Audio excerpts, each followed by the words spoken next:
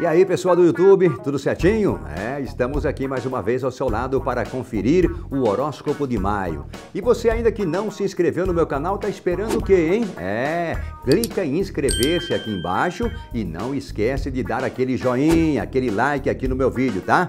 Vamos bater 3 mil likes nesse vídeo. Desafio vocês, tá bom? Tô esperando aqui você deixar o seu like.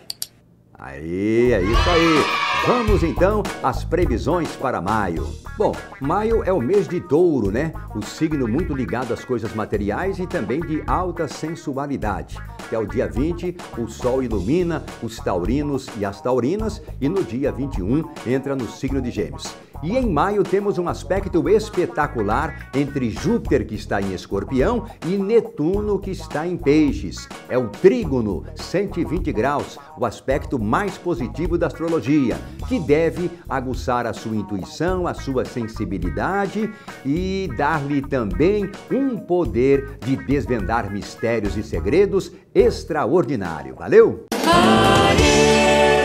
Amor. Olha, além de contar com um ótimo papo, você terá simpatia de sobra para atrair paqueras, hein? É, alguém do seu círculo social pode se apaixonar por você e abrir o coração na segunda quinzena. Já no romance, assuntos financeiros, interesses familiares vão ganhar importância, mas não chegarão a afetar o clima de romantismo.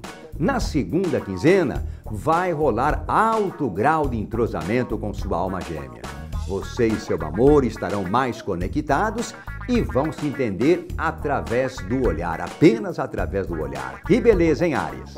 Família e amigos.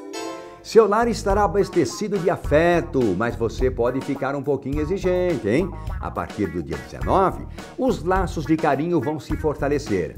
Mudanças vão marcar as amizades na segunda quinzena. Trabalho e dinheiro.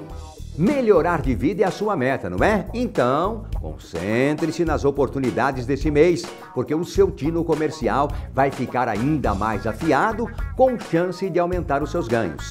Sucesso com vendas e com serviços terceirizados. E a partir do dia 14, Ares, você pode descobrir alternativas para ganhar dinheiro.